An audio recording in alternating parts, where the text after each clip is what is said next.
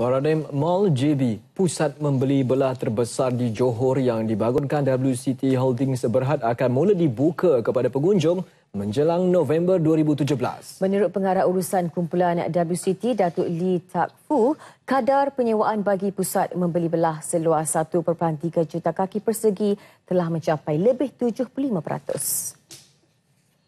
For us, the most important thing is each of the assets that we have uh, makes a positive contribution to the group. Um, this is 1.3 million square feet, so it's, it's, it's not small. Antara penyewa utama pusat beli belah itu termasuk Parkson, Golden Screen Cinemas, Village Grocer, Padini, Uniqlo, Home Pro, Celebrity Fitness dan Brand Outlets.